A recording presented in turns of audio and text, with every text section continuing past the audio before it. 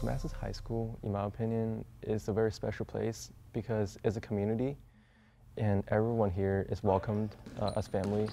And I'm always going to miss those Friday night football games where we won state championships, all the sports we had, um, all the track meets, and just and all the teachers here as well. The staff members who are always willing to help us, uh, who are always there to guide us through the high school careers.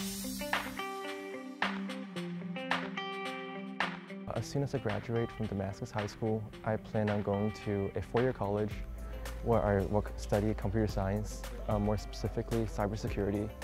And once I graduate from my four-year college, I will pursue a career in uh, possibly education or computer science.